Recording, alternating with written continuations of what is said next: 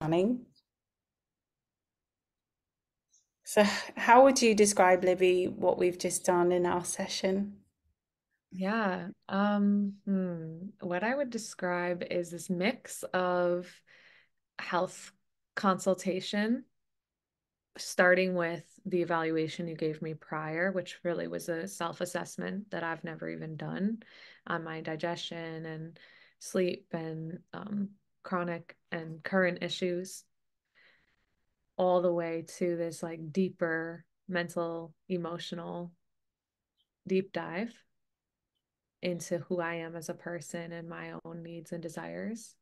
Mm-hmm. And then setting up a level of vision, I would say, around what an upcoming three month journey together is going to look like for working on my health. So, a really holistic inter what I say we just did is like this holistic introduction to transformative health because it's not it's not just this wasn't just a doctor's appointment although it did actually feel like we're taking literal assessments. It's also this exploration of my patterns my emotions my um, things that i've observed and then for me with you i also got to experience like a lot a level of spirituality and space to explore the depths of what these issues uh, of some of the roots of some of the issues here. So I felt very whole and connected. And so, in terms of like implementing all this now into your life, this new knowledge, how excited are you and ready are you to do that? Hmm.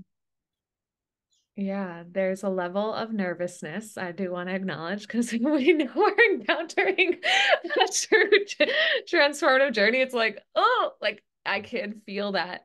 Um, oh, it's big. Things will shift if I am really choosing this.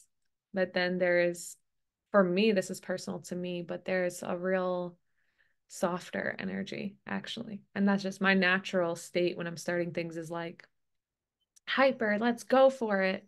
But I even had the space, since we're addressing our tendencies here, I had the space to just talk about that. And while that hyper, more young, like I can do all the assignments and be a good student energy serves me at times, it's the, actually the same energy that sometimes makes me feel like I drop off because I can do the things, but my my more underlying space is not at ease. And from the things we just worked on, I'm actually feeling excited from this place of more like easefulness and curiosity and gentleness of like, whoa, what is this going to look like? Like, I actually don't know because it's not just going to be me giving myself commands mm-hmm. alone. We're going to really be learning about myself. yeah, it it will definitely be more purposeful way of you know going through self-care and habits that are going to help you to essentially heal your body. Yeah. yeah and just to speak to the excitement in there because i just talked about my own nervousness but like it is it's hard like whenever you know you're about to change something i think it's like ah wait wait not ready yet but the excitement and like why this matters to me so much is I'm a healthfulness has always mattered for me, but B in my health journeys there has been ups and downs. I actually am someone who because I love health, I think it even creates even more crashes for me because I'm like oh there's a new trend, let's go for it. Oh there's a new oh I want to try fasting. Oh I want to try this. Um meanwhile life happens deaths, grief, um, for me, starting new jobs, starting new businesses. And I find my relationship with health spiking like up and down. We try this, we have no time, we try, we don't. Mm-hmm. And so now, after seven years of learning a lot, but also not really finding the things that stick for me, it's actually created a level of hopelessness at times where it's just like, oh no, all these things that are supposed to help aren't working. It's not that they're not working. I just haven't navigated what works for me. And what feels very uplifting from talking to you is that I can actually find the things that will work for me, mm-hmm. not what is just like some type of golden ticket to, to better health, but like really a deeper dive into how I am as a person, what my lifestyle looks like, and how I can really support myself given those unique qualities about myself and my life.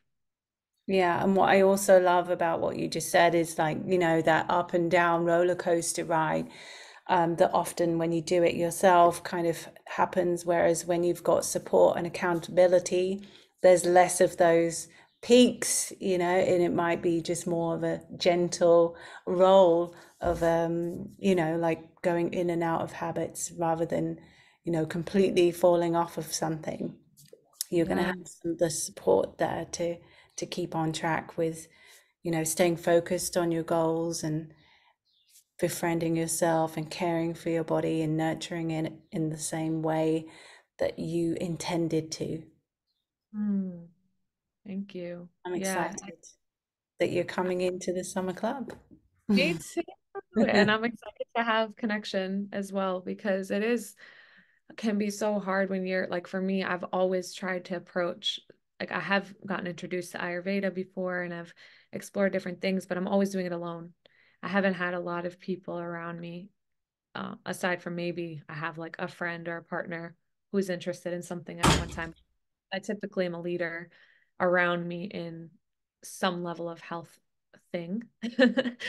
and so that can lead, that also adds pressure in my life on top of that. And so to actually have more of a set community to learn with and grow together. And I know that I have this length of time to mess up too but to share the learnings and and be encouraged on the road that's one of the things i'm most looking forward to absolutely yeah welcome libby thank you looking forward to who else is going to be here. Exactly. It's going to be awesome. We're leaving on sunday. Get on board